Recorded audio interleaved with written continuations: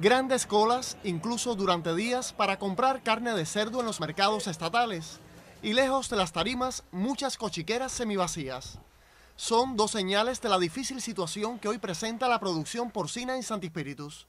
Esta provincia registró un descenso en el último trienio, con la caída más brusca en el 2020. La principal causa radica en las dificultades del país para garantizar las materias primas y los piensos importados a los productores que tienen convenios con la empresa porcina. Hoy se les debe más de 10.000 toneladas. Nosotros hemos contratado con los productores entregarle el 50% de, del alimento que, que, demanda el, el y solamente de ese 50% hemos logrado garantizarle entre noviembre y diciembre un 40% y en el mes de enero solamente un 15% del alimento.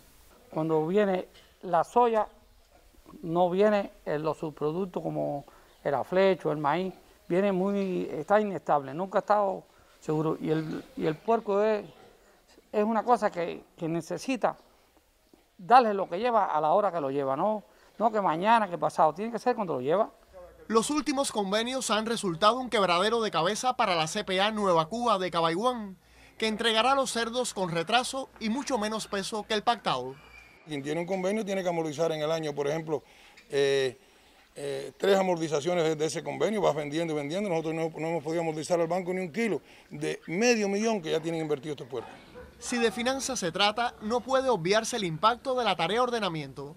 Ya se corrigieron los precios de los piensos, pero la empresa porcina de Santispíritus no tiene capacidad para entregarlos elaborados a los productores.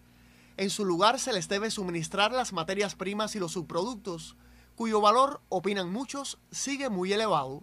Por ejemplo, el subproducto de la flecha está a 1.500 pesos, cuando antes estaba a 157 pesos. Y es un alimento que de verdad no, no fortalece al animal, da energía, pero no, no da lo necesario para desarrollarse. Y es la mayor cantidad que reciben ellos en el convenio está el subproducto del arroz, eh, que también es 5.435 pesos, que también está caro. El maíz valía 1.410 pesos y ahora vale 6.000 y tanto. La soya valía 1.700, 1.700 pesos y ahora vale 8.000 y pico. Al productor le sale, le, se le encarece también buscarla, el transporte, le encarece la, la molienda, porque hay que molerle lo, a producir los piensos, molerla para los animales. Durante gran parte de enero no se establecieron nuevos convenios en la provincia.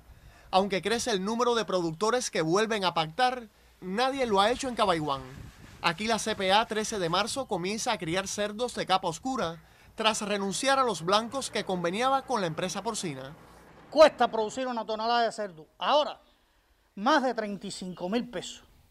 Para entonces usted buscar un ingreso que es el margen entre eh, kilogramos, eh, un incremento de 5, 6 pesos de kilogramos de, de, ganancia por kilogramo que usted produzca. No merita eh, eh, económicamente hacer esta inversión. En el complejo escenario actual, Santispíritus pugna por aumentar la producción. Hoy se rescatan instalaciones estatales en desuso para la ceba de cerdos. Ya rescatamos cuatro naves en la UV de Carbó, donde se están cebando ya 800 animales instantáneos y estamos rescatando seis naves en los molinos que se podrán cebar ahí 1.200 animales instantáneos.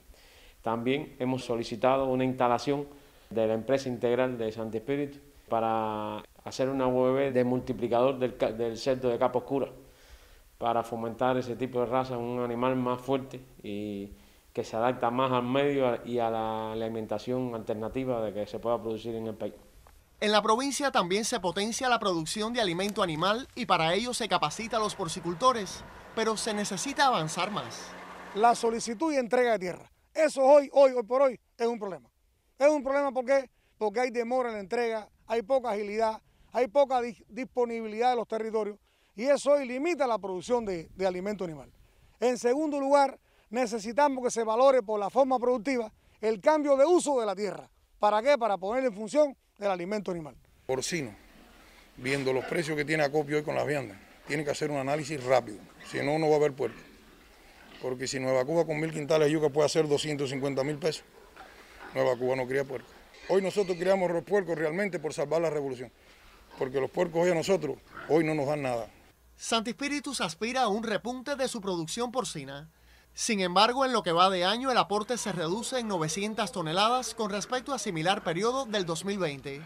Una situación que exige atender las inquietudes de los productores y actuar con sabiduría y ciencia para tener más cerdos en las cochiqueras y mayor oferta de carne en los mercados.